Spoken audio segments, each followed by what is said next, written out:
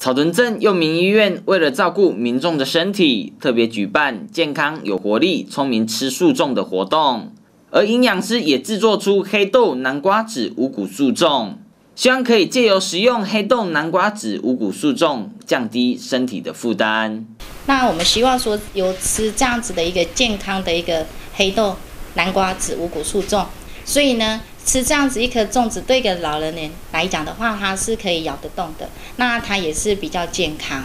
那我们希望说，呃，取把黑豆去取代平常的一个呃五花肉，或者是说是一些肉类的话，那它会相对的它的比较好的一个蛋白质，然后会比较多。那对一个老年人来讲的话，也可以增加它的一个吸收。传统的粽子对于人体其实是有相当的负担。呼吁民众在过节时应注意饮食适当的摄取，才不会影响身体的健康。啊，其实肉粽哦是咱在是糯米做，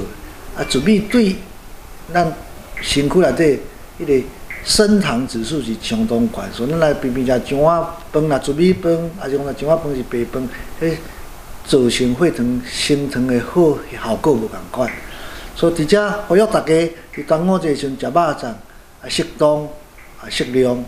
啊，尤其传统的肉粽，咱会知油分也真济，热量是足悬的代志吼，所以大家适当食。咸原料子佑肯定营养师的用心，不仅能够让民众享受过节的气氛，也不会影响身体机能。呃，大家即摆对着讲吼啊，即摆因为咱有一寡吼心脏啦、心脏血管啊，是讲吼呃这个糖尿的一个状况吼，所以吼呃有有一些。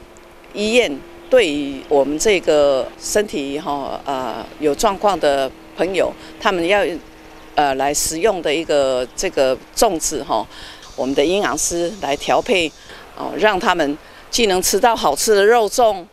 但是呢，够哈被影响到伊哈啊一个身身体的状况。希望借由佑民医院的用心，让过节时容易忽略饮食方面的民众。可以借由食用黑豆南瓜子五谷素粽，降低身体的负担。